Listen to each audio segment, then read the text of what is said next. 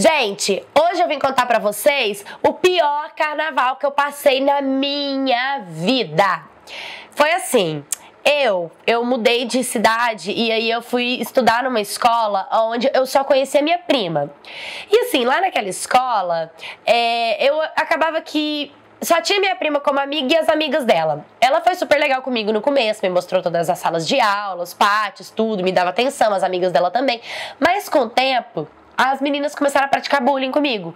Xingavam, fazia graça comigo. Uma chegava até, tipo, a puxar meu cabelo, sabe? Coisas do tipo. Até que teve um dia que a menina veio praticar bullying comigo. Eu tava até puxando meu cabelo, inclusive. E veio uma menina e me defendeu, me puxou, falou pra não mexer comigo tal. E a partir daquele momento, aquela menina passou a ser mais uma amiga minha. Como era uma cidade que eu não conhecia ninguém, eu não sabia de nada, só tinha minha tia, minha prima, eu achei super legal essa garota ter se aproximado de mim. Era mais uma pessoa pro meu ciclo, porque eu não tinha gente para ficar mandando mensagem no WhatsApp, nada do tipo, né? Enfim, tudo começou quando nós começamos a nos tornar mais íntimas. Eu era uma menina. E quando eu contei para ela o rapaz que eu gostava, o menino que eu gostava, ela ficou com ele. E assim, isso me incomodava muito, porque eu era muito calada, muito quietinha, muito na minha. E ela ela era três anos mais velha que eu. Então, assim, completamente pra frente. Ela conseguia conversar com os garotos, com os rapazes, ela já era mais corpuda, ela já era mais sensual, ela já tinha uma malícia na conversa. Todas as vezes que nós estávamos em algum lugar que tinha rapazes, os rapazes se aproximavam de mim pra falar com ela, pra chegar nela, pra ela, sabe? Eu já estava até acostumada com esse estilo de vida, com isso. Mas eu até gostava, porque ela conversava várias coisas comigo, então parece que me deixava um pouco mais antenada das coisas que poderiam vir. Até que teve um dia que eu adicionei um garoto nas redes sociais e nós começamos a conversar. Conversa vai, conversa vem. Ele era muito bonito e eu tava com muita vontade de conhecê-lo pessoalmente, sabe? Mas eu fiquei na minha. Época de bloquinho na cidade é assim: tem bloquinho em cada esquina. E como eu morava num centro, então a gente ia a pé pros bloquinhos, sabe? Então, muito divertido.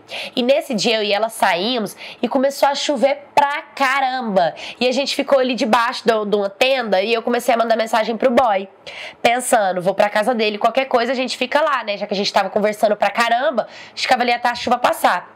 Consequentemente, minha amiga também ia para esse lugar e foi o que aconteceu. Ela foi comigo para esse lugar.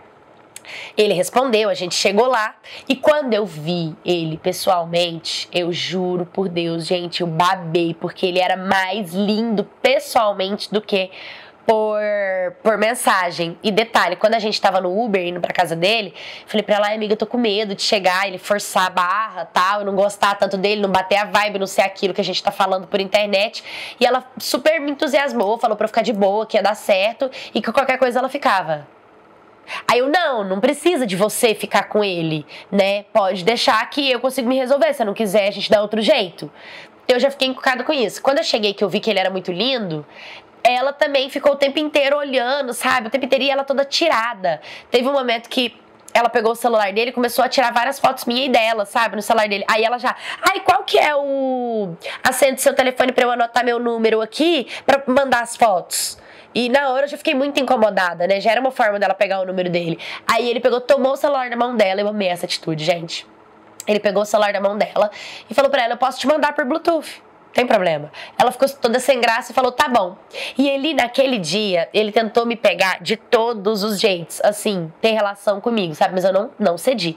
Ele tentou, tentou, tentou, tentou, tentou, mas eu não cedi em momento algum. Até que deu a hora e a gente foi embora para casa. Aí, beleza, eu e ele ficamos no maior lovinho. Eu e ele ficou no maior romance, no maior amor, no maior chamego, barará, bererê. Até que eu fui pra aula e no outro dia essa amiga minha virou e falou assim: Ai, nossa, ele é um fofo, ele é lindo, eu adorei ele. A gente virou amigo, a gente tá super amigo. Aí eu já olhei para ela assim, ela, mas é amigo, amiga, só amigo, tá? Aí a gente combinou de se arrumar amanhã pra ir pro bloquinho. A gente vai se arrumar na casa dele, vamos? Na hora eu fiquei furiosa. Tipo, ela marcou de ir pra casa do meu boy se arrumar e nem falou comigo, marcou com ele que amizade é essa. E como ela viu que eu fiquei sem reação, o que que ela disse? Cara, se você não quiser ir, não tem problema. Eu chamo outra amiga minha pra ir lá comigo, com ele, me arrumar na casa dele. Depois a gente vai pra festa, entendeu? Eu fiquei tipo. me fiz de boba, claro. Eu falei, não, claro que não, eu vou com você, né? Eu vou me arrumar lá na casa dele com ele. Só pra ver o que, que tava pegando. E aí, beleza.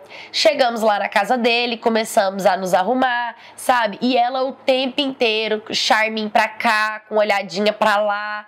E aquilo já tava me incomodando bastante sabe? As brincadeirinhas, risadinha, ela na maior intimidade com a mãe dele, fazendo story com ele como se o boy fosse dela, sabe? Fazendo, chamando atenção o tempo inteiro. E eu tava muito incomodada com essa situação, sabe? Eu fui pro banheiro até chorar, porque eu não tava acreditando que isso estava acontecendo, sabe? Tipo, que ela tava tão oferecida assim nessa ocasião, sabe? Ela era minha amiga e eu achei chata a atitude dela. Enfim, me arrumei e eu tava linda. Eu tava linda. Eu fiz uma maquiagem de coelhinha. Cara, eu tava muito gata, muito gata. E os amigos dele chegou, uns cinco boys. Tudo lindo, os amigos dele, tudo lindo também. E os amigos dele, quando não tava perto dele, ficava assim, ê, bebê. Nossa, que que é isso, hein? Ficava dando em cima de mim, eu sempre de cara fechada, nunca correspondia nenhum dos amigos dele, por respeito a ele, né? Enfim, na hora de ir lá pro bloquinho, o Uber não dava todo mundo. Aí ela teve uma brilhante ideia de ir no colo e o Uber aceitou. E ela se ofereceu para ir no colo de quem? Sim, do meu boy, do meu crush. Eu fiquei muito instigada com aquela. Eu tava muito incomodada, eu não tava nem acreditando que aquilo tava acontecendo. Chegou lá, ela começou a beber para pagar de que tava bêbada. Sabe esse povo que mal começa a beber e já começa a se jogar em cima dos outros? Ai, nossa, e dá uma de louca.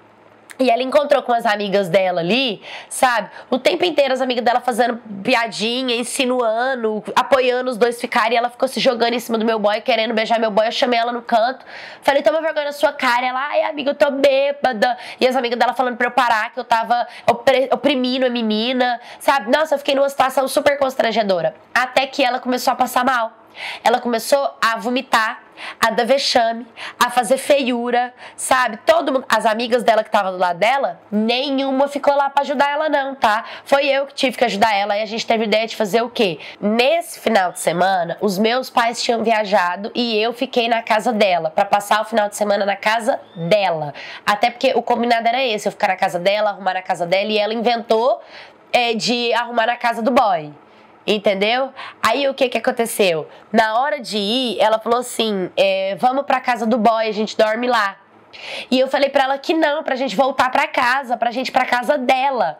E ela virou pra mim e falou assim: então fica na rua, porque eu tô indo pra lá foi a primeira humilhação.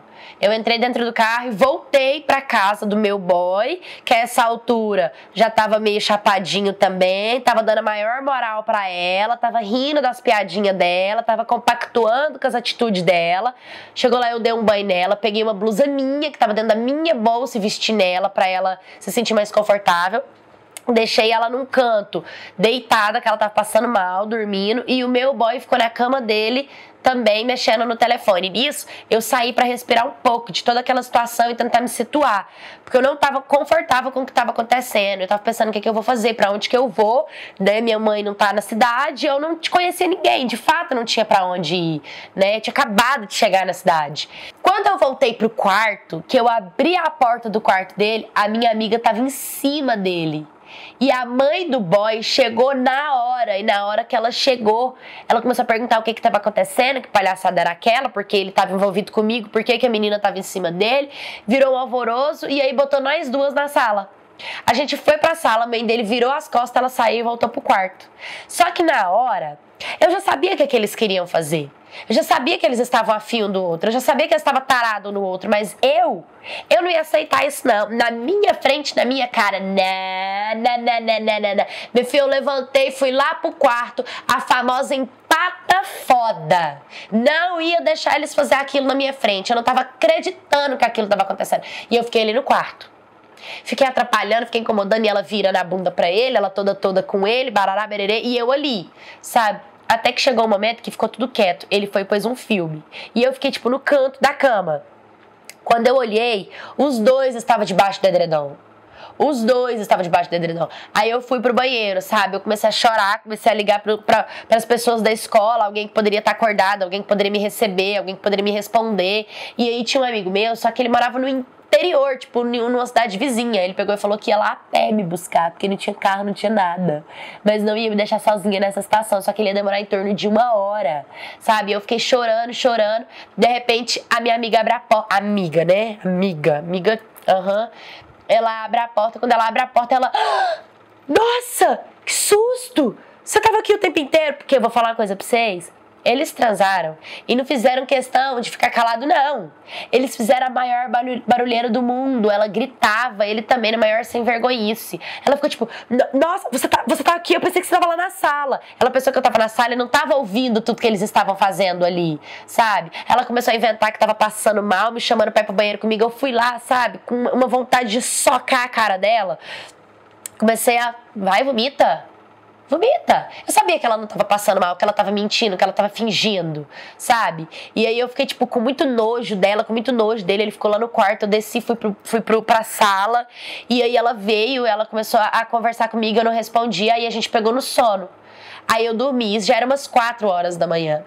Aí passou umas meia hora, meu amigo me ligou falando que tava chegando, que ele tava indo lá por mim. E aí ela acordou e começou. Ai, nossa, não lembro de nada de ontem principalmente na madrugada, não lembro de nada. Ai, que conversa fiada, né?